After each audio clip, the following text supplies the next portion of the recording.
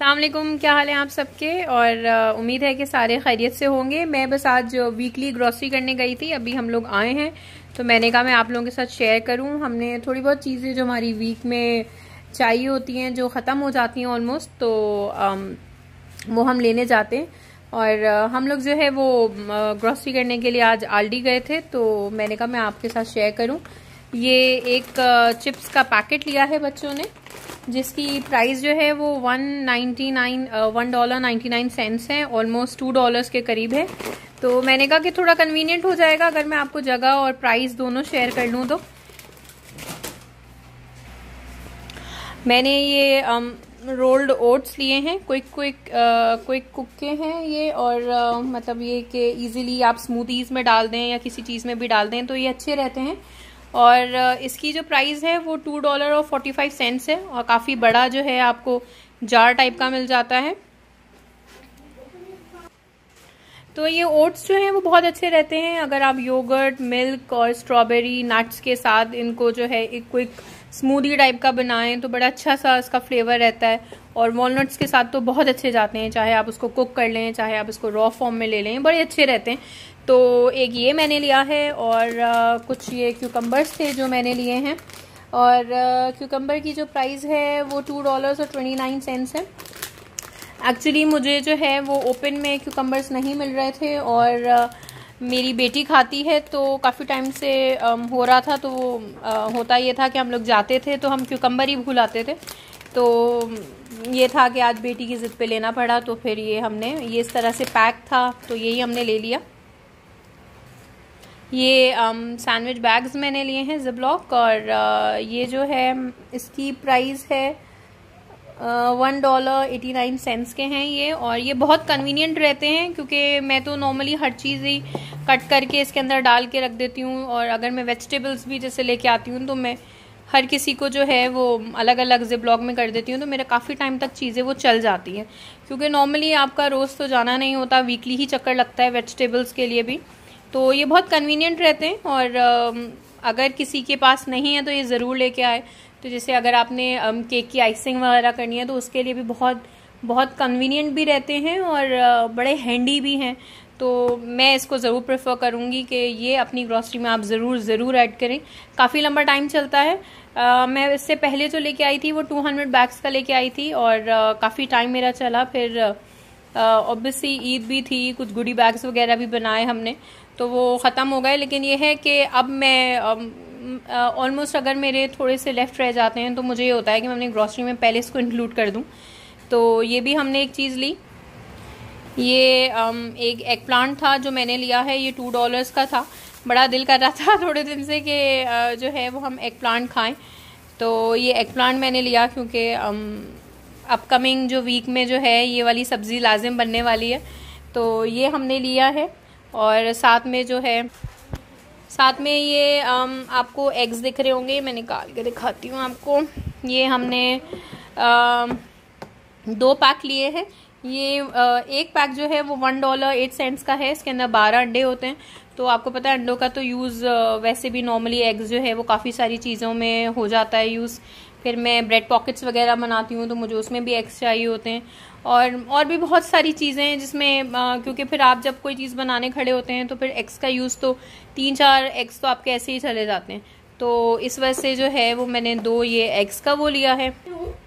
इसके बाद जो है ये हैवी विपिंग क्रीम मैंने ली है ये one dollar fifty five cents की है। अभी um, बस इसी वीक जो है अल्हम्दुलिल्लाह हमारे एट ईयर्स कंप्लीट हो रहे हैं हमारी एनिवर्सरी आ रही है तो मैंने कहा था कि मैं घर में केक बनाऊँगी तो इस वजह से मैंने ये विपिंग क्रीम ली है क्योंकि मैं पहले भी ट्राई कर चुकी हूँ। तो इसका मुझे रिज़ल्ट बहुत अच्छा रहा तो मैं यही वाली लेके आई हूँ। ये इतना होता है um, ये 473 ml है और इसकी इतनी ज़्यादा क्वांटिटी में ये क्रीम तैयार हो जाती है कि मैंने लास्ट टाइम जब चार फोर पाउंड्स का मैंने केक बनाया था तो उसके लिए मुझे इनफ रही थी इधर कि मैंने उसकी फोर लेयर्स दी थी। मैंने लिया है हम सैलड्स वगैरह के लिए आइसबर्ग लिया है, ये one dollar twenty nine cents का है। तो ये बड़ा अच्छा सा रहता है। हम फ्रेंच सैलड वगैरह बनाते हैं, उसमें इटालियन ड्रेसिंग वगैरह करते हैं। तो आइसबर्ग बड़ा एक क्रंची सा सैलड को बड़ा फ्रेश सा एक वो दे देता है। तो ये मैं अपने सैलड्स में ज़रूर ऐड करती हूँ।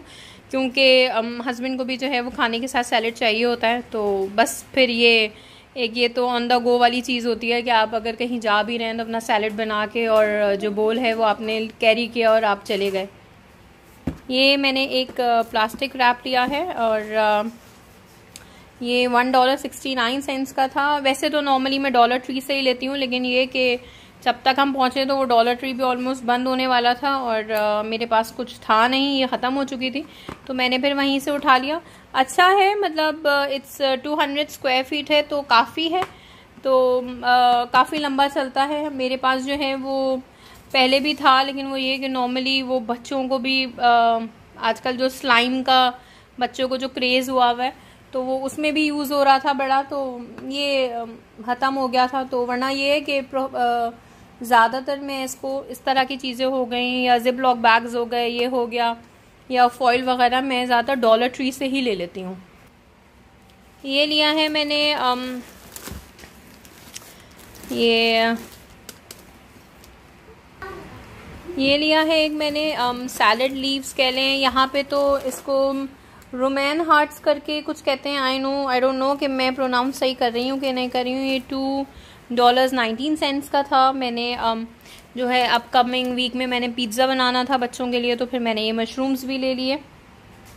अच्छे रहते हैं ये मशरूम्स और uh, uh, बच्चे खा भी लेते हैं और अगर आप पिज़्ज़ा में ना भी डालें तो uh, अगर आप बारबेक्यू सैलड वगैरह बना रहे हैं तो उसमें भी बहुत अच्छे रहते हैं। ये one dollar forty nine cents के हैं। तो ऑलमोस्ट डेढ़ डॉलर का आपको पड़ेगा। ये बहुत अच्छा बड़ा पैक है। दो टाइम तो आपका इजीली आपका यूज़ हो जाता है। ये मैंने वाइट um, ब्रेड ली है और ये um, मैं इसी ब्रांड की लेती हूँ। कोई हार्ड एंड फास्ट नहीं है बस मुझे उसका टेस्ट अच्छा लगा तो मैं जब से आई तो फिर मैंने यही वाली ब्रेड लेना स्टार्ट कर दी। जब से हमने एक्सप्लोर किया तो हम इसी ब्रांड की लेने लगे वैसे तो स्टार्टिंग में जब आई तो नॉर्मली मैं घर में ब्रेड बनाती थी तो मैं बड़ी वो हो जाती थी कि अब ब्रेड भी घर में बनेगी। लेकिन ये कि फिर ग्रेजुअली हम लोगों ने इसको एक्सप्लोर किया, हमें ये चीज़ मिल गई तो अब हम इसी ब्रांड का लेते हैं और इतनी महँगी भी नहीं है एटी फाइव सेंट्स की है। हमारे घर में तो टू टू थ्री डेज़ अगर मैं कोई सैंडविच वगैरह ना बनाऊँ तो आराम से चल जाती है बच्चों के साथ।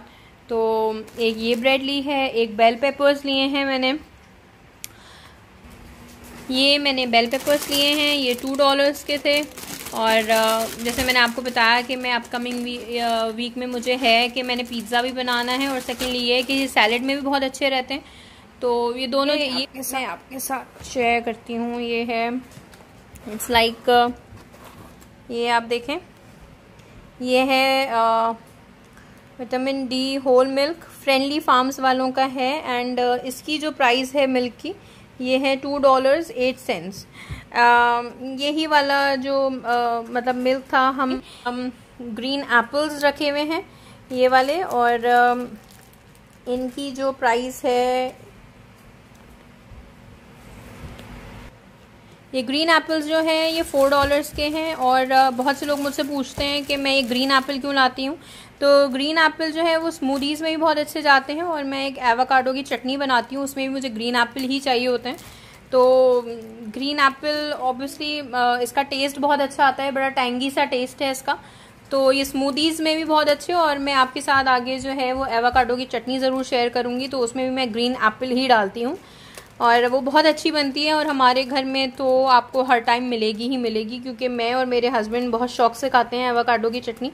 तो ये वो चीज़ है जो हमारे यहाँ हमेशा आपको मतलब फ्रिज में मिलेगी। मैं बना के रखती हूँ। कि थोड़ा सा साइड में वो ये होता है कि थोड़ा सा किसी भी चीज़ के साथ बड़ा अच्छा रहता है। अगर आप कोई चिप्स या कोई आ, खा रहे हैं तो उसके साथ डिप की तौर पे भी बड़ा अच्छा रहता है। और ये मैंने लिए थे आलू लिए थे। ये मुझे तकरीबन साढ़े तीन डॉलर के पड़े थे। थ्री डॉलर फिफ्टी सेंट्स के ये मैं आलू लेके आई हूँ। और ये आपको दिख रहा होगा टू पॉइंट ट्वेंटी सेवन के जी के करीब है इसका वेट तो बस यही टोटल हमारी वीकली ग्रॉसरी थी और अल्हम्दुलिल्लाह इसमें हमारा पूरा वीक ईजिली निकल जाता है और क्योंकि जो मेन चीज़ें होती हैं, वो तो महीने में आपको पता है मंथली आई जाती हैं, लेकिन जो थोड़ा बहुत ऑन एंड ऑफ़ रह जाता है या कुछ ख़त्म हो जाता है तो वो फिर लेके आ जाते हैं। उम्मीद है आपको अच्छी लगी होगी मेरी ग्रॉसरी और आपको कुछ भी कुछ शेयर करना हो तो मुझसे प्लीज़ ज़रूर कमेंट करके बताया करें कि अगर आप कोई रेसिपीज़ जानना चाहते हैं या आप कोई चीज़ जानना चाहते हैं। एंड ये कि ज़रूर हौसला बढ़ाया करें लाइक किया करें थम्स अप दें और सब्सक्राइब भी करें, अपने फ्रेंड्स के साथ शेयर भी करें जो यहाँ रहते हैं, ताकि उनको भी थोड़ा सा इजी हो जाए। आगे फर्दर ऑन बहुत सारी चीज़ें लाइनअप की हुई हैं, इंशाल्लाह आपके साथ शेयर करूँगी। अब तक के लिए अपना बहुत ख्याल रखें, अल्लाह